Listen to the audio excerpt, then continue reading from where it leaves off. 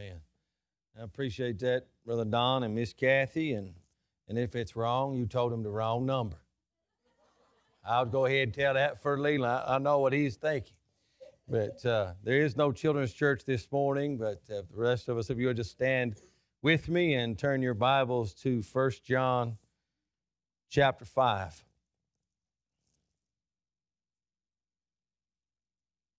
First John chapter 5, beginning in verse 1.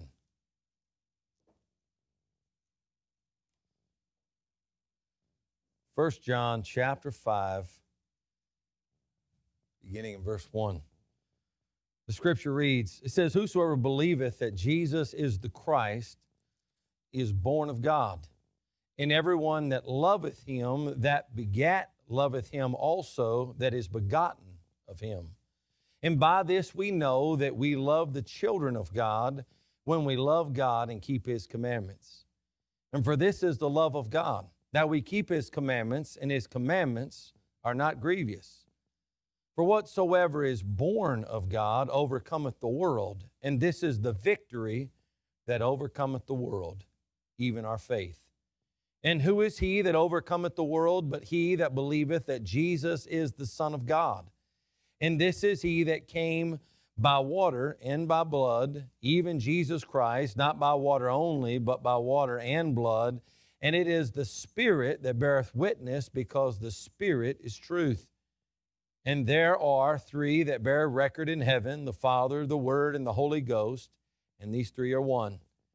And there are three that bear witness in, in earth the Spirit, and the water, and the blood, and these three agree in one. And if we receive the witness of men, and the witness of God is greater, for this is the witness of God which he hath testified of his Son.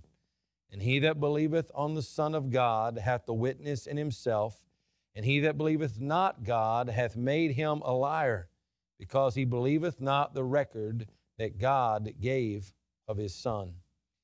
And this is the record that God hath given to us eternal life, and the life is in his Son. And he that hath the Son hath life, but he that hath not the Son of God hath not life. Let's pray. Heavenly Father, as we bow before you this morning, we thank you for the time that we've had already. We're thankful for the baptismal service. We're thankful, Lord, for the songs that we've been able to sing together as a congregation. We're thankful for the special music.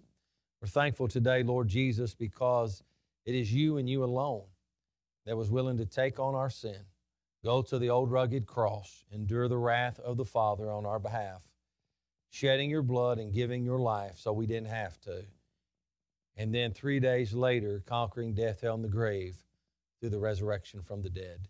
And Lord Jesus, you're alive forevermore. You're seated at the right hand of the Father. You sent forth your Spirit to abide within our hearts. You have given us your word, and it has been preserved for us. And, and Lord, that you are also going to return soon and very soon. And Lord Jesus, we're thankful today for who you are. We're thankful for what you've done. We're thankful for what you are doing in our lives. And we're looking forward to how you're going to wrap all these things up. Lord Jesus, I pray, though, that you would help us to live in the moment, anticipating your return, but living for you in the here and now. And we live in victory because, Lord Jesus, you've overcome the world, and we and you also overcome the world. So I ask for your help to preach this morning. I ask you to hide me behind the cross. I ask for a fresh anointing of your spirit. And I pray as your word goes out that you would save the lost and revive your church as we trust in you to do your work, as we lift you up. And we pray these things in Jesus' name.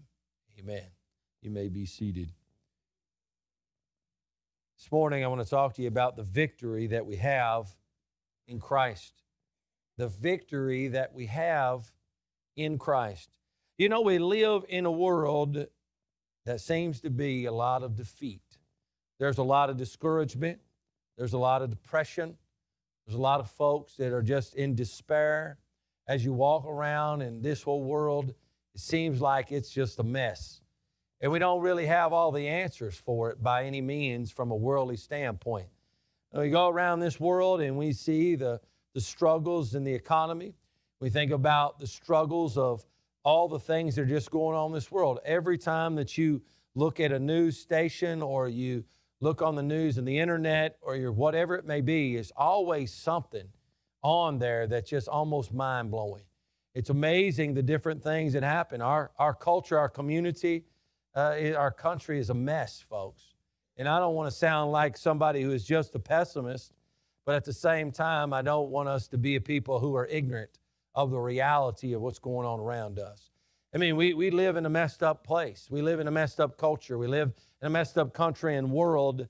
And in and of itself, just like the Apostle Paul said in 1 Corinthians chapter 15, if there's no resurrection, if there's nothing beyond this world, then we are of most men miserable. We look in this world here, and it is a mess by itself. But you know what the good news is, folks? There's victory today in Christ Jesus. Even when it looks as if Satan is running rampant, and he is, he has those little lion roaming this world, seeking whom he may devour. Even when it appears that evil is ever growing in front of us, and it seems to be on every single front. And I'm not just, you know, just saying that. That's what it looks like to me.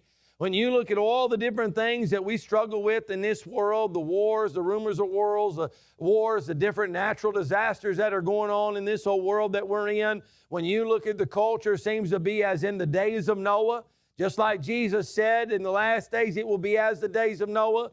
Well, and you flip over there the book of Genesis and you see what it was like in the days of Noah. Men was constantly evil and wicked in their hearts and in their minds, and it made its way out into the culture. Violence was all over the face of the earth, even to the point where God was saying, I'm fed up and sick and tired of what's taking place. To the point in which he told Noah to build an ark and to tell folks that judgment is coming a flood is coming, and eventually he did wipe everybody and everything off the face of the earth through a worldwide flood. He said that's how it's going to be in the last days. Folks, when you look out here in this world today, that's how it is, folks. That's the way that we're going. The, the morality of humanity has, has just continuing to get worse and worse. I mean, when you have to talk about the debate of abortion, when you're having the debate that of the homosexual agenda or transgender movement, if you're having to sit here and discuss all these other different things that people want to say is right, when the Bible plainly declares is wrong, we have a problem, folks. But there's still hope today, and that hope is found in Christ. When we find that John was writing there the first epistle, you know, we find later on he's writing from the book of, uh, the book of Revelation from the Isle of Patmos the culture of John's day was the same as, as Paul and there in the Roman culture. And guess what? It was a mess then, too. I mean, it was the same similar type of things going on in that day as it is today. And we know that it was a mess, but he still had that hope, and that hope was found in Christ Jesus. And so I want to see just a few things in this, these verses that we read this morning about the victory. And as we think about the victory, I want you to think about your own personal life for a minute. I don't want you to thinking about everything else. I want you to think about your own personal life. Because at the end of the day, I want you to understand something. This world ain't getting better, folks. This world's getting worse. And, and, and, there's not a thing that you and I are going to do to change that. And you say, well, that doesn't sound good at all. Where is that hope at? Well, our hope is beyond this world, okay? I'm looking forward to the return of Jesus. I'm looking forward to a new heaven, a new earth, a new New Jerusalem coming down from glory. I'm looking for the day when Satan is cast into the lake of fire to rear up his ugly head no more. I'm looking forward to the day where there's no sin, Satan, and the old man that I was and am today. I'm looking forward to a new glorified body. I'm looking to a place way beyond this world. Okay? But in the meantime, I want us to understand that this world in of itself is not getting better, but you yourself can still have victory. You yourself can experience personal revival. You yourself can experience a growth at being saved and having a growing relationship with the one true and living God of the universe. You, you can do that personally. That can also spread to your families. That can be us as a church. And we can make some difference in our community, one life at a time. I'm not saying that, but I do want us to understand that when you read the Bible, things aren't getting better, they're getting worse first. You know, it's going to get dark before we see the glory of the SON. And so, as we think about that, I want you to think about your own personal life. Do you have victory today in Christ Jesus? Do you know Him as your own personal Lord and Savior? If you die today, you know you're going to heaven beyond a shadow of doubt.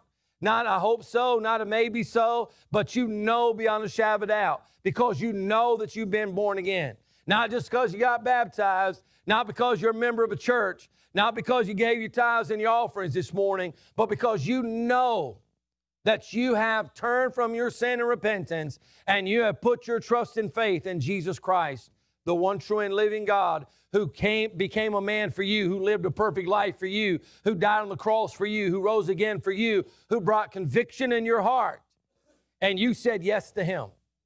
See, if you've never been born again, if you've never been saved, you don't have that hope of eternal life, folks. It's not, you, you can't ride the coattail of somebody else. You know, my kids can't say, well, my daddy was a Baptist minister. Or somebody else can't say, well, I was raised in church. I've been in church ever since I was conceived and I was in the womb and I, I've been drugged to church every time the doors were open. That ain't good enough, folks. You can't say, well, I taught Sunday school classes, I've drove buses, and I've done the sound system, and I've done all these other things. That's not good enough, folks. You can't say, I've gave my money and I've gave my time and I've done all these good works in, in the name of Jesus. That's not good enough because you got to know him. You have to be born from above. You have to know that you're saved. And when you say that you're saved, then some things should follow that. You ought to be able to say, you know what? I remember what it was like before I got saved. And you ought to be able to say how you've been changed since you've been saved. And when you go through your walk with Jesus and you have your failures and you have the times of sin in your life, you can also say, when I did that, God corrected me. God disciplined me. God showed me that I was a saved person because of the disciplinary action that happened in my life. If you claim to be a saved person, but you don't have no desire to live for God, you don't care about the things of God, you can live how the world wants to, and there's no discipline of God in your life, I'm here to tell you, you're not a child of God. You need to get saved. You need to be born again. And that's not something my opinion. That's what the author of Hebrews says. The author of Hebrews plainly states that he chastises all of his children. And, and if you're not disciplined by God, the plain language of the King James translation says you're a bastard. That means that you do not have a heavenly father. And, and so it may sound like a shocking word today, but it's not that shocking. You're either born again, adopted in the family of God, or you're not. And if you claim to be saved, then you're going to live for Jesus and there's going to be some change in your life. And even if there's some failures, and there will be, you're going to have some correction in your life. There's going to be some discipline in your life. There's going to be conviction in your heart. There's going to be that which brings you back to a place to where you need to be. So as we think about the victory, it says this, whosoever believeth that Jesus is the Christ is born of God. And everyone that loveth him that begat loveth him also that is begotten of him. And what we find here is that this victory, as we already alluded to, starts by knowing that you are saved. And he says, in order to be saved, you have to believe the right thing. You understand that today? That in order to be born again, you have got to believe the right thing. You can't just believe whatever you want to and go to heaven. You can't do it. Some people think that you can, some people have this mentality well, it's just up to you to just come up and determine it on your own, and, so on and so forth. This doesn't work that way. In order to be saved, guess what happens? Faith cometh by hearing, and hearing by the word of God. And as the word of God is proclaimed to you, guess what has to happen? You and I need to be convicted of our sin, but then we have to be, we have to believe the right thing. The Bible says in John chapter 1 and verse 11 that Jesus came unto his own and his own received him not. And so when Jesus, who is God and robed himself in flesh, took on human form, he did so through the seed of Abraham as the promise was supposed to be. And so he was Jewish by physical descent. And when he showed up there, his own received him not. But it goes on to say in verse 12, but as many as did receive him, to them gave he the power to become the sons of God even to those who believe on his name. See, you have to believe and receive the right thing, you're the right person. You have to put your trust and faith in Jesus. So when John says that we must believe that Jesus is the Christ, what he is saying is you've got to believe he is the Messiah. You've got to believe He is the anointed one. You've got to believe that He is the promised Redeemer as it was promised and declared in Genesis chapter 3 and verse 15. Y'all would remember the story, I'm sure, that when Adam and Eve sinned in the garden, they, they recognized their nakedness then. And when God would show up in the cool of the day, after they had sinned and took of the tree of the knowledge of good and evil, they hid themselves. They knew something was wrong. And they hid themselves from God, and God cries out to where are you, Adam? And Adam and Eve finally make themselves known, and they have covered their nakedness with their fig leaves. And God says, What have you done? And they began this conversation as God confronts them in their sinful ways. You know, it was Adam, what happened? And he says, This woman that you gave me, she gave me of the fruit of the tree of the knowledge of good and evil, and I ate of it. What have you done, woman? And this woman says, The serpent, he has deceived me.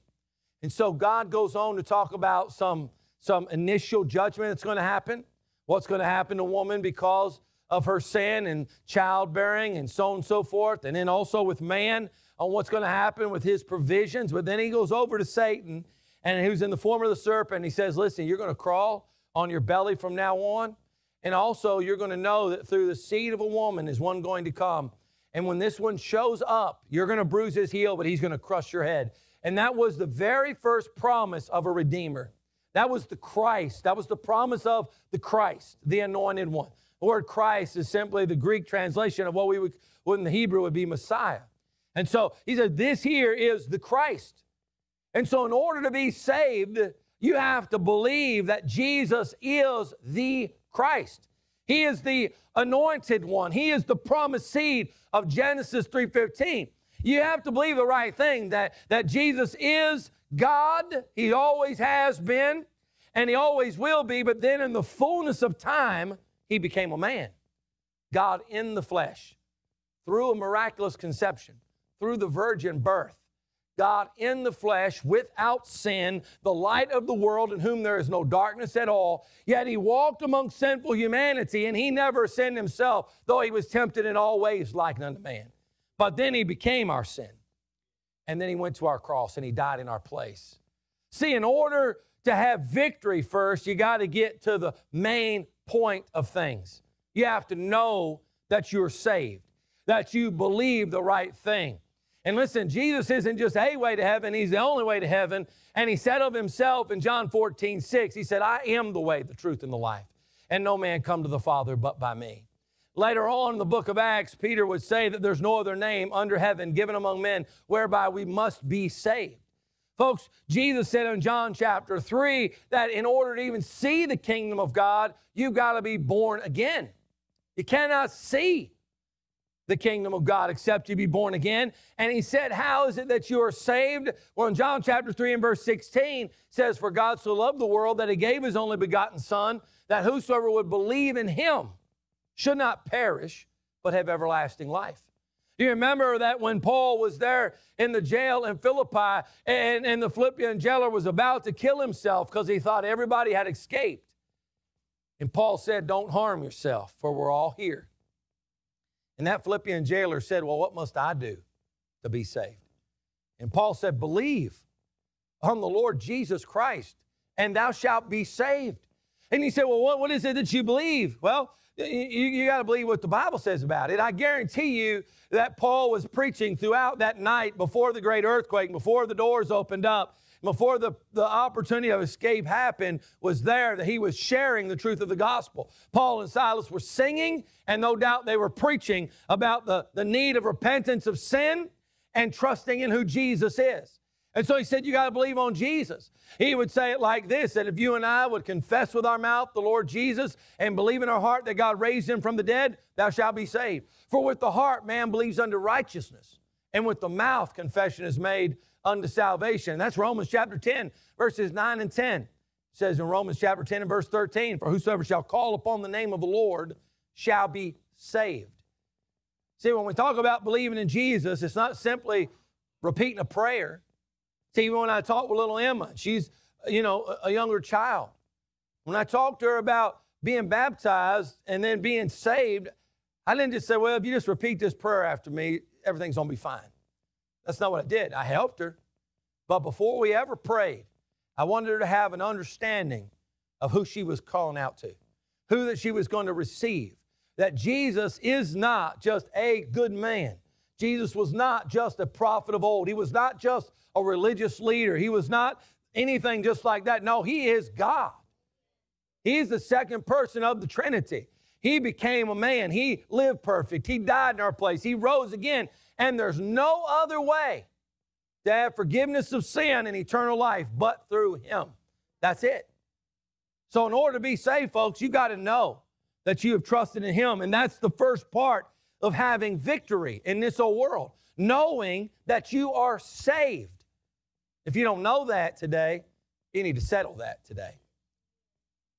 No better time, no better place than the here and now to trust in Jesus Christ as your own personal Lord and Savior, to turn from your sin and repentance and turn to Him. And you say, well, Brother Anthony, if repentance, that means there's going to have to be some change in my life. I agree with that. That's what repentance is all about. It's changing. You say, I just don't know if I can fix it on my own, Brother Anthony. I just don't know about that. Well, that's the good thing about it. You don't have to do it on your own. See, when you repent, that means that you're going to change the way you think about things. And that's what needs to happen first. You have to change. When you're living a life of sin, you got to recognize that it's sinful and you got to realize that I'm going to turn from it and I'm going to turn to Jesus. I can't fix it on my own. I can't get cleaned up on my own. If you could do that on your own, he'd never went to the cross for you. But you got to at least be willing to turn from it. and Say, I can't do it on my own, so I'm going to turn to you, Jesus. And as you confess your sin to him, then and you cry out to him, then he will come inside of you through the person of the Holy Spirit. And then as he forgives you and saves you, he then will begin to shape you into the person you're supposed to be. That's what it means to be born again, born from above. Second Corinthians 5:17 says, when you're born again, old things pass away, and behold, all things become new. He begins to work on you according to Philippians chapter 1 and verse 6. He who begins the good work in you will bring it to completion in the day of Christ Jesus. Romans chapter 8 teaches us that he has predestinated us to be conformed to the image of his dear son. If you're his workmanship, as it says in the book of Ephesians as well, chapter 2 and verse 10, he's going to shape you and mold you to become workers of his. But you got to trust in him. You got to repent. You got to know that you put your, your, your life in the hands of Jesus and ask Him to save you. You got to know you're saved. Not just going to church, not going through religious rituals, but knowing you are born again. That's where it starts. That everyone believes that Jesus is the Christ, that He is the anointed one, that He is the Savior. He goes on to say, and everyone that loveth him that begat, loveth him also that is begotten of him. What it's saying is that if you're a saved person, guess what? That's where it starts to experience victory. But guess what the next step is? Not just loving him, but loving each other. And the last couple sermons, we've been talking about the love of God and the presence of the love of God in the church and how the atmosphere of the church must be such that we know how to love each other. Because to say that you love God but not love the brethren, it's a contradiction. It's absolutely impossible to say that I'm walking with Jesus, loving Jesus, in right relationship with Jesus, and not be in right relationship with other believers. This can't be that way. It doesn't work that way because when you get saved, you become part of the church. You're baptized into the body of Christ, and not through baptism, water baptism, but through spiritual baptism. The Holy Spirit brings you into the body of Christ and you become one with Jesus. And so other believers also come into that spiritual body of Christ when they trust in Jesus. And so we are one together under the head of Jesus. So when we say that we love Him, we also, guess what? Love each other. And you know what? You cannot experience victory in this world if you don't love the brethren. It's an impossible thing. The most miserable people on the face of the earth are saved people that are out of fellowship with God, out of fellowship with believers. It's not lost people. Lost people go through this world. They don't even think about God a lot of times. I know I went 18 years of my life not really thinking about the things of God before I got saved. And, and before I got saved, the reason I started thinking about God was really because somebody started telling me about God. But left to myself, I didn't think about nothing but Anthony and my current circumstances of where I was at. I didn't think about going to church. I drove all over where I grew up in Fairfield, Ohio, and never really even seen a church. And then after I got saved and I went back around where I lived, guess what I started seeing? Churches on every corner. But I didn't know they was there before. You know why? Because I didn't think a thing about them. I didn't think about the people in them, and I didn't think about what they represented. I sure didn't think about the God in whom they supposedly was worshiping or preaching about and have no clue about it. But when somebody started sharing the gospel with me, I started thinking about my own sin. And I started thinking about then what Jesus did on the cross and who Jesus was. And eventually, as through the conviction of the Holy Spirit and the, and the, and the illumination there of my heart and my mind to the gospel, I surrendered to that and I gave my life to Jesus. And, and now it's been over 24 years, not much more, just a few days. But last, the 20th, this past Tuesday, I guess it was, as I turned 24 years old in the Lord. From that point on, I started thinking about not about my relationship with Jesus, but what about other, other people in Christ? Jesus said, Those who are his family are those who do the will of his Father. We are adopted into the family of God. He says that everyone that, that is saved, don't just believe that Jesus is the Christ, but you love him that begat. You love the one that has begotten you into new life, but you also love them that were begotten of him. And it says in verse 2 By this we know that we love the children of God when we love God and keep His commandments. And for this is the love of God, that we keep His commandments, and His commandments are not grievous. When I think about victory, I think about having victory in, in this world because I've trusted Jesus who overcame this world. When I look out here in this world and I see all the economies a wreck, and I think about how is everything going up, but the dollar is, is not near as valuable. It just doesn't seem like it goes near as far. How are we going to continue to be sustained? When you think about all of the mess going on in this world, the uncertainty of what's happening in our own country, every time you turn around, some ignorance going on. Every time you turn around. You say, what are you going to do in that? When you see all the stuff and the unsettlement, unsettlement and all of the, the turmoil that's going on in our world as a whole, you said, How are we going to face tomorrow? You know what I do? Think, He's got this. He's got this. Is God sweating the, the price of gas? No. Is he sweating the price of, a loaf of bread? No. No, you know why? Because he said he's going to give us this day our daily bread. He didn't say as long as you stay under this amount of money, I'm going to take care of you. He said, You seek first my kingdom, my righteousness. I'm going to take care of every need you got. And then no matter what Satan tries to do, no matter how bad the world gets to going about it, we know we serve a God who's in control and can do all things. And so when there's things like this, like, all right, I'm going to live for him. And then what are we supposed to do also? Have victory in this world, not just trusting in him, but loving each other. The family's got to stick together, folks. You know? Now, we ain't just talking about biological family. I'm talking about really those that are covered by the blood. Those are part of the family of God. That's what the real family is all about, isn't it?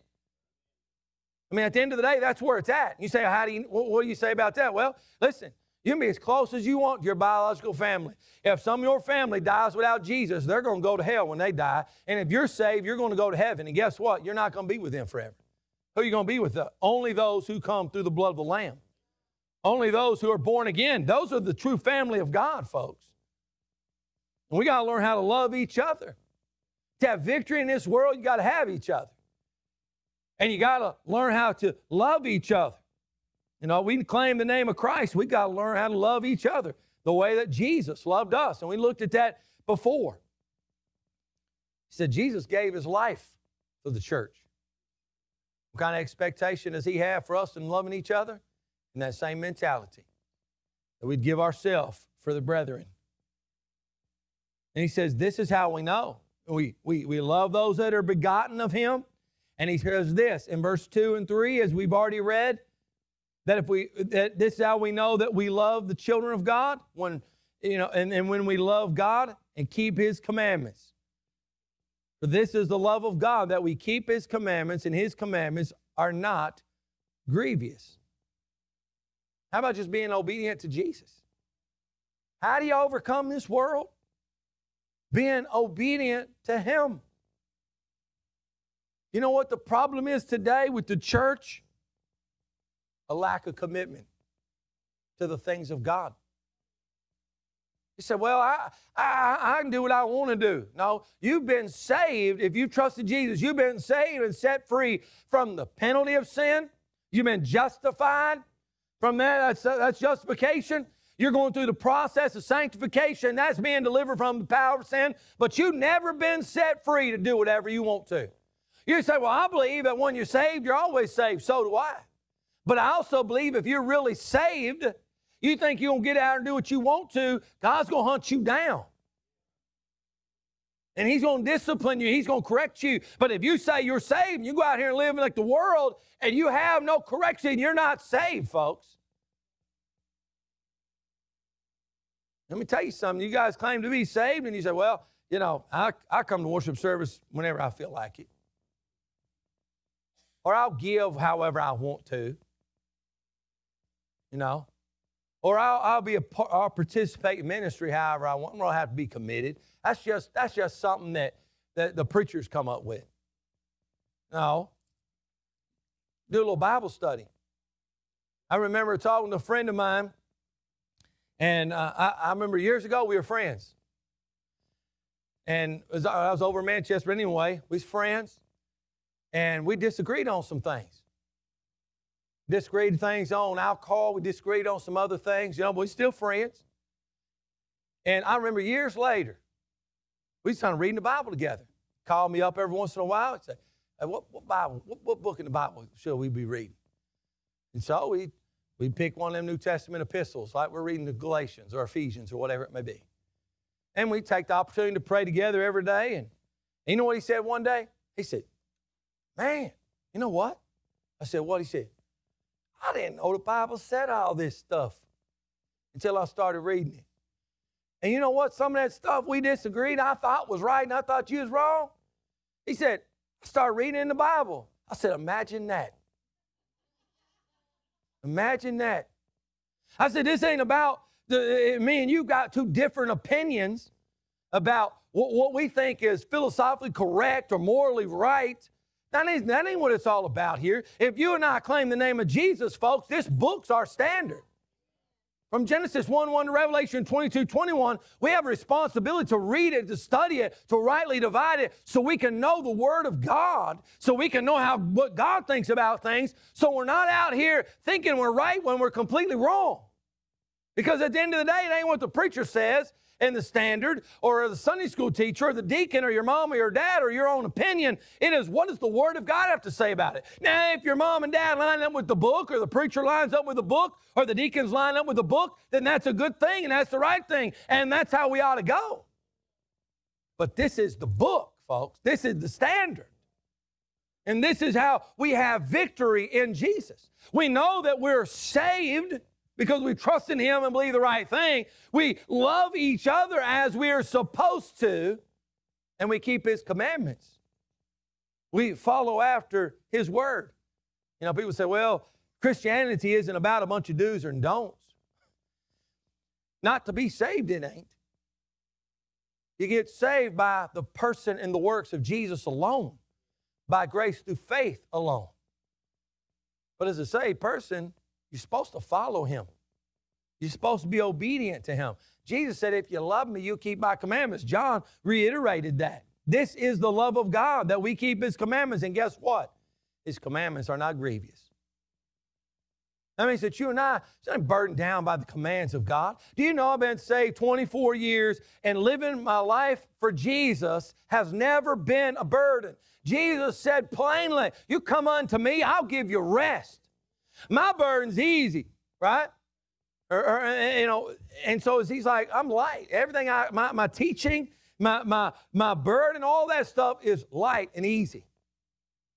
Follow after him. I, am never to say, look back say, man, I live for him. It's just been an impossible thing, and it has just wore me out for 24 years. No. No, it's not how it works. Because when you follow after Him and you take heed to His word, guess what? You're not doing it by yourself. The Holy Spirit is inside of you. The Word of God then begins to shape you, mold you. And, and as you as you're growing in that, guess what? It is it's amazing the freedom you have. It's amazing the, the victory you have. You don't have to be defeated and, and despair, looking out here in the world, wondering, what am I going to do now with all this craziness going on? You know, I'm getting older, you know, and, and my kids, you know, they're getting older. And then I think, you know what? You know, if Lord tarries his return, it ain't going to be long before somebody's put me in the ground somewhere. What about them? You know, what are they going to do? You know, well, this world's a mess for them and all these other kids coming up behind them. He said, This world ain't fit for nobody, and it's not. But Jesus is big enough. Jesus can handle it. He can take care of them. Know?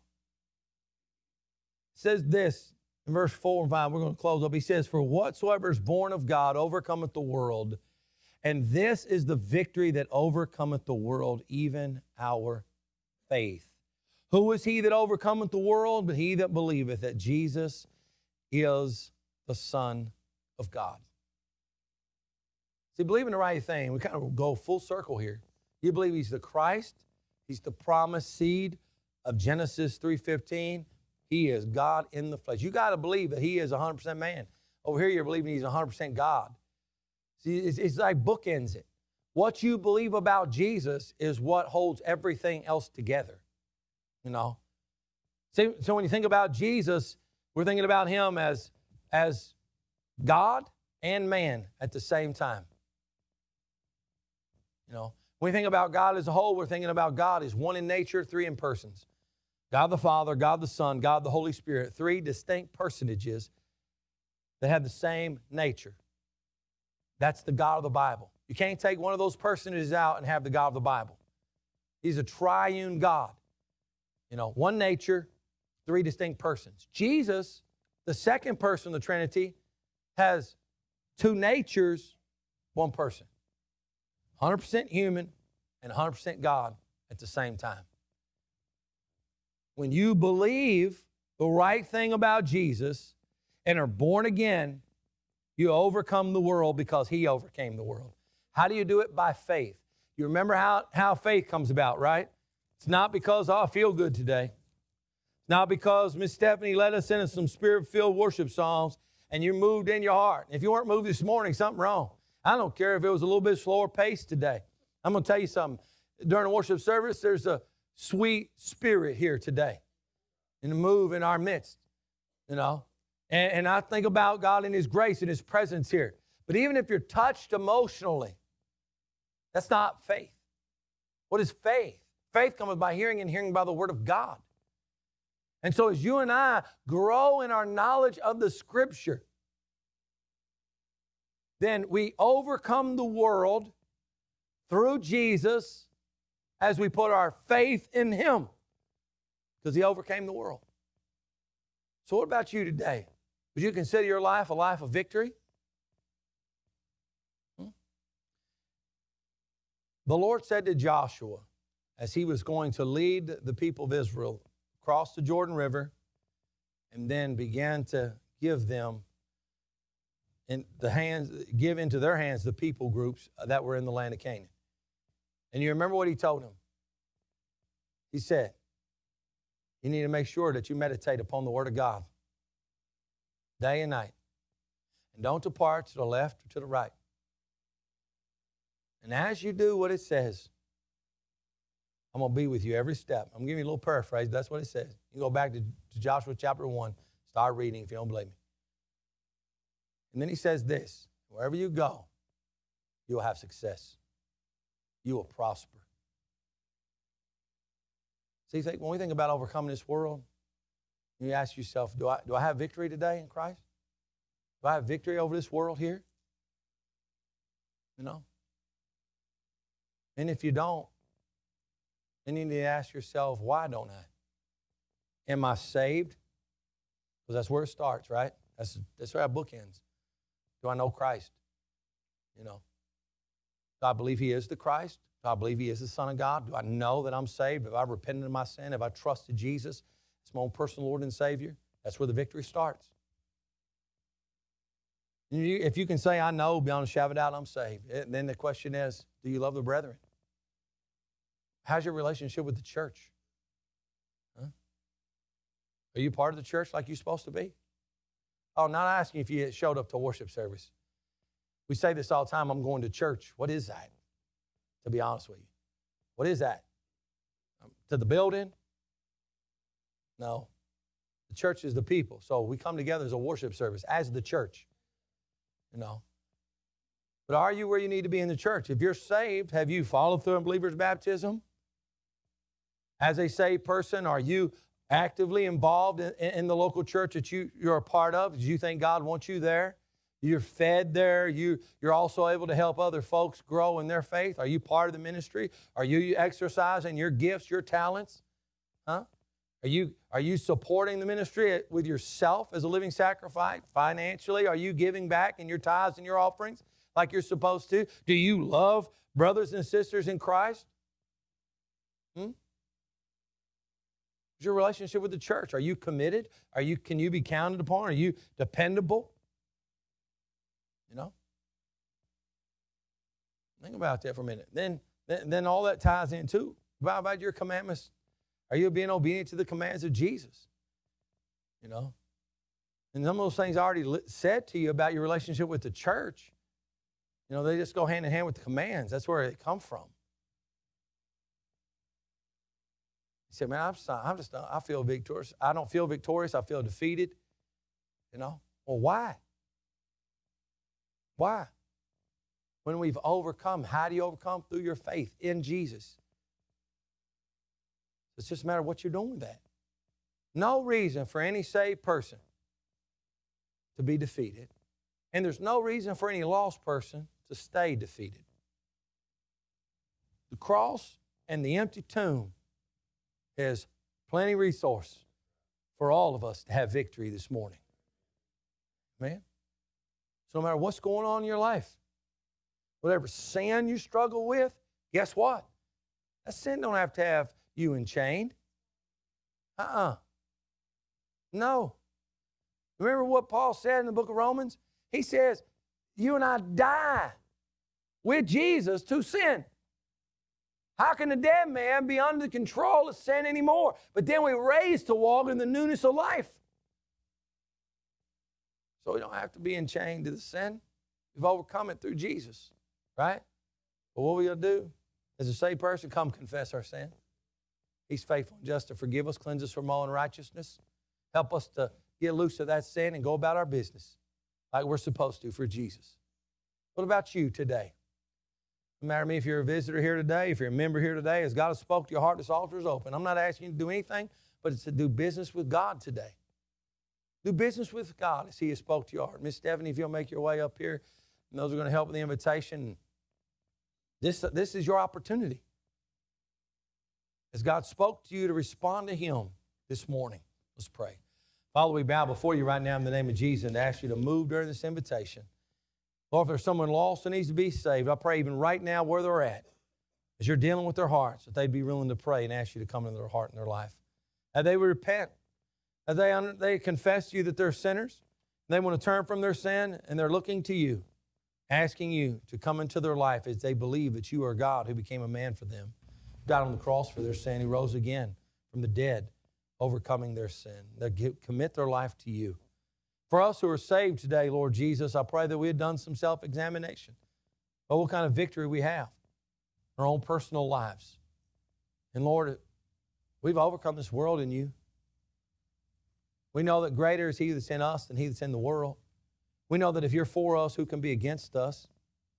You know, if all these things are true and they are, then we should not have any defeat in our life. Not by old man, not by sin, not by anything else, not by Satan. He's a defeated foe. Uh, when he shows up, starts running his mouth, all we have to do is draw nigh to God. All we got to do is resist the devil, and he's got to flee. So, Lord, I pray that we'd examine ourselves and, and And as we have, well, we'd come and do business with you, with you and respond, getting out of our comfort zone, humbling ourselves, and allowing you to lift us up. Do a work that only you can as we trust in you. There's this invitation. We pray these things in Jesus' name. Amen.